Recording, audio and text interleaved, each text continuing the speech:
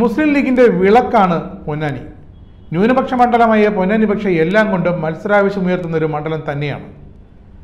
അൻപത്തിരണ്ടിലെ ആദ്യ ലോക്സഭാ തെരഞ്ഞെടുപ്പ് മുതൽ ഇങ്ങോട്ട് അതുതന്നെയാണ് അവസ്ഥ. പൊന്നാനി വലിയ പള്ളിക്കകത്ത് കെടാതെ കത്തുന്നൊരു വിളക്കുണ്ട്. പ്രമുഖ ഇസ്ലാം മത പണ്ഡിതൻ സൈനുദ്ദീൻ മഖ്ദൂമിന് കീഴിൽ ലോകത്താദ്യമായി ദർസ് പഠനരീതി ആരംഭിച്ചത് ഈ എണ്ണ വിളക്കിന് ചുറ്റുമിരുന്നാണ്. ഒരുപക്ഷെ വിളക്ക് കത്തിക്കുന്ന കേരളത്തിലെ ഒരേയൊരു മുസ്ലിം പള്ളി പൊന്നാനിയിലേതാകും. അതാണ് പൊന്നാനി. ഒന്നിനോടും അന്ധമായ വിരോധമോ മികച്ചവ സ്വീകരിക്കാൻ മടിയോ പൊന്നാനിക്കില്ല. പൊന്നാനിയുടെ രാഷ്ട്രീയ ചരിത്രവും ഈ മനസ്സിനൊപ്പമാണ്. പൊന്നാനി ഇത്തവണ ആരുടെ കൂടെ നിൽക്കും? ഇത്തവണ അല്പം കൂടി കരുതി ലീഗ് കോട്ടയിലേക്ക് ഇടിച്ചു കയറാനാണ് സി പി എമ്മിന്റെ നീക്കം. അതുകൊണ്ട് തന്നെ ആര്യടൻ ഷൗക്കത്തിനെ പിണക്കരുതെന്ന് ലീഗ് നേതൃത്വം കോൺഗ്രസിന്റെ കാലുപിടിച്ച് പറയുന്നുണ്ട്. കാരണമുണ്ട് ഇത്തവണ സി പി എം സ്വതന്ത്രനായ ലീഗിനെതിരെ പൊന്നാനിയിൽ ആര്യടൻ ഷൗക്കത്ത് അങ്കത്തട്ടിൽ ഇറങ്ങുമോ? അത്ര കണ്ട് കോൺഗ്രസ് നാടകങ്ങളിൽ മനം മടുത്തു നിൽക്കുകയാണ് ഷൗക്കത്ത്. യു ഡി എഫിന്റെ പ്രധാനമായും കോൺഗ്രസിന്റെ വോട്ടുകൾ ചോർത്താൻ ശേഷിയുള്ള സ്വതന്ത്ര സ്ഥാനാർത്ഥിക്കാണ് സി പി എം ഇപ്പോൾ പ്രഥമ പരിഗണന നൽകുന്നത്.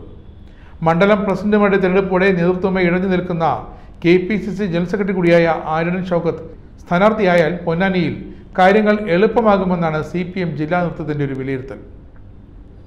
ഇടത് വേദികളിലേക്ക് ഷൗക്കത്തിനെ പലതവണ ക്ഷണിച്ചെങ്കിലും ഇതുവരെ പങ്കെടുക്കാൻ മനസ്സ് തുറന്നില്ല സി പി എമ്മിന്റെ നീക്കം മുന്നിൽ കണ്ട് ഷൗക്കത്തിനെ പിണക്കരുതെന്ന മുന്നറിയിപ്പ് ലീഗ് നേതൃത്വം ശക്തമായി തന്നെ കോൺഗ്രസിന് നൽകിയിട്ടുമുണ്ട്. ഇല്ലെങ്കിൽ കാര്യങ്ങൾ പാളിപ്പോകും. സമസ്തയ്ക്ക് കൂടി സ്വീകാര്യനായ ഒരു പൊതു സ്വതന്ത്രനെ കണ്ടെത്താനും C P M plan B ആയി ശ്രമിക്കുന്നുണ്ട്. അവസാന നിമിഷം സസ്പെൻസ് സ്ഥാനാർത്ഥിയെ പ്രഖ്യാപിക്കുന്ന പതിവ് ഇത്തവണയും പൊന്നാനിയിൽ സി പി എം തുടർന്നേക്കും.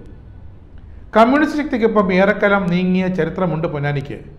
അൻപത്തിരണ്ടിലെ ആദ്യ ലോക്സഭാ തെരഞ്ഞെടുപ്പ് മുതൽ എഴുപത്തേഴ് വരെ പൊന്നാനിയിൽ പാറിയത് ചെങ്കുടി തന്നെ.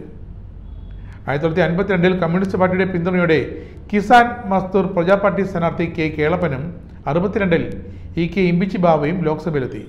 അറുപത്തിയേഴിൽ സി കെ ചക്രപാണിയും എഴുപത്തിയൊന്നിൽ എം കെ കൃഷ്ണനും പൊന്നാനിയെ C P M കോട്ടയാക്കി.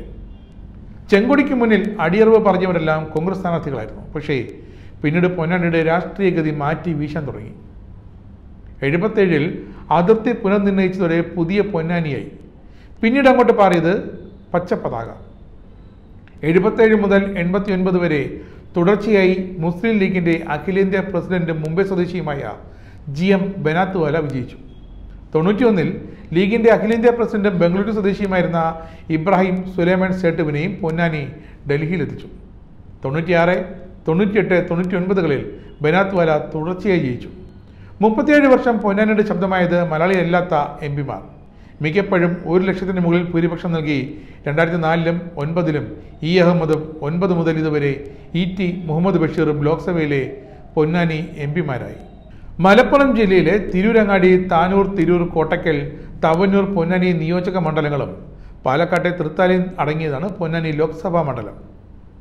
Tanur Thavanur Ponnani Thrithala മണ്ഡലങ്ങളിൽ ഇടത് എം എൽ എമാരാണ് കഴിഞ്ഞ നിയമസഭാ തെരഞ്ഞെടുപ്പിൽ പൊന്നാനി ലോക്സഭാ മണ്ഡലത്തിൽ യു ഡി എഫും എൽ ഡി എഫും തമ്മിൽ ആറായിരം വോട്ടിന്റെ വ്യത്യാസം മാത്രമേ ഉള്ളൂ ബി ജെ പിക്ക് ശരാശരി ആറ് മുതൽ എട്ട് ശതമാനം വോട്ടാണ് ഇവിടെ ലഭിക്കാറുള്ളത്.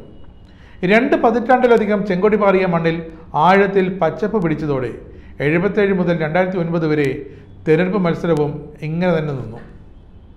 സി പി ഐ സ്ഥാനാർത്ഥികളായിരുന്നു മത്സരിച്ചവരിൽ ഏറെയും. കോൺഗ്രസിലെ പൊട്ടിത്തെറിയിൽ ഇടതുപാളയത്തിലെത്തിയ ആര്യാടൻ മുഹമ്മദ് ആകട്ടെ എൺപതിൽ പൊന്നാനിയിലെ ഇടത് സ്വതന്ത്ര സ്ഥാനാർത്ഥിയായപ്പോൾ ആവേശ മത്സരത്തിനാണ് സാക്ഷ്യം വഹിച്ചത്. തൊട്ടുമുമ്പുള്ള തെരഞ്ഞെടുപ്പിൽ ഒന്ന് ദശാംശം പൂജ്യം രണ്ട് ലക്ഷത്തിന്റെ ഭൂരിപക്ഷം നേടിയ ബെനാത്ത് വലിയെ ആര്യാടൻ അര ലക്ഷത്തിലേക്കാണ് പിടിച്ചു കിട്ടിയത്. ഇടതുപക്ഷത്തിനായി മികച്ച സ്ഥാനാർത്ഥി രംഗത്തിറങ്ങിയാൽ പൊന്നാനിയിൽ മത്സരം കടുക്കും. അതാണ് ചരിത്രം പറയുന്നത്. രണ്ടായിരത്തി പതിനാലിൽ സിറ്റിംഗ് എം പിയായ ഇ ടി മുഹമ്മദ് ബഷീറിനെതിരെ കോൺഗ്രസ് വിമതനായെത്തിയ നിലവിലെ മന്ത്രി വി അബ്ദുറഹ്മാൻ മത്സരിച്ചപ്പോൾ മണ്ഡല ചരിത്രത്തിലെ ഏറ്റവും കുറവ് ഭൂരിപക്ഷമാണ് ഇ ടിക്ക് ലഭിച്ചത്. ഒരു ലക്ഷത്തിന് മുകളിൽ ഭൂരിപക്ഷം ലഭിക്കാറുണ്ടായിരുന്ന മണ്ഡലത്തിൽ ഇരുപത്തയ്യായിരത്തി നാനൂറ്റി പത്ത് വോട്ടിനായിരുന്നു ഇ ടിയുടെ വിജയം. ലീഗിന്റെ വോട്ടിൽ ഏഴ് ശതമാനത്തോളമാണെന്ന് കുറവ് വന്നത്. അതേസമയം രണ്ടായിരത്തി പത്തൊൻപതിൽ പി വി അൻവറിനെതിരെ ഒന്ന് ദശാംശം ഒൻപത് മൂന്ന് ലക്ഷം വോട്ടിന്റെ ഭൂരിപക്ഷം ഇ ടിക്ക് ലഭിച്ചെങ്കിലും മികച്ച സ്ഥാനാർത്ഥിയിലൂടെ ശക്തമായ ഒരു മത്സരത്തിന്റെ സാധ്യത പൊന്നാനി ഇപ്പോഴും തുറന്നു വയ്ക്കുന്നു. രണ്ടായിരത്തി ഒൻപത് പതിനാല് പത്തൊൻപത് തെരഞ്ഞെടുപ്പുകളിൽ ഇ ടി മുഹമ്മദ് ബഷീറാണ് ലീഗിനെ മത്സരിച്ചത്. തുടർച്ചയായി മൂന്ന് തവണ പ്രതികരിച്ചത് ചൂണ്ടിക്കാട്ടി മലപ്പുറത്തേക്ക് മാറാൻ ഇ ടി തന്റെ താല്പര്യവും പറഞ്ഞു കഴിഞ്ഞു. പകരം പൊന്നാനിയിൽ എം പി അബ്ദുൾ സമദാനി മത്സരിക്കട്ടെ എന്നാണ് ഇ ടി പറയുന്നത്. എന്നാൽ മലപ്പുറം വിട്ടുകൊടുക്കാൻ സമദാനിക്ക് താല്പര്യവുമില്ല. ഇ ടിയെയും സമദാനിയെയും വീണ്ടും മത്സരിപ്പിക്കാൻ ലീഗിൽ ഏറെക്കുറെ ധാരണയായിട്ടുണ്ട്. മണ്ഡല മാറ്റത്തിൽ പക്ഷേ ഇതുവരെ ഒരു തീരുമാനമായിട്ടില്ല കഴിഞ്ഞ തവണ ബി ജെ പിയിലെ വി ടി രമ മത്സരിച്ചപ്പോൾ ഒന്നേ ദശാംശം ഒരു ലക്ഷം വോട്ടാണ് ലഭിച്ചത്. മണ്ഡല ചരിത്രത്തിൽ ആദ്യമായി പത്ത് ശതമാനം വോട്ട് വീതം ലഭിച്ചു. പൊന്നാനിയിലെ സ്ഥാനാർത്ഥി ചർച്ചകളിലേക്ക് ബി ജെ പി കടക്കുന്നതേയുള്ളൂ എങ്കിലും ഇത്തവണ അറിയാം പൊന്നാനി ചൂക്കുമോ അതോ പച്ചപ്പ് നിലനിർത്തുമോ എന്ന്.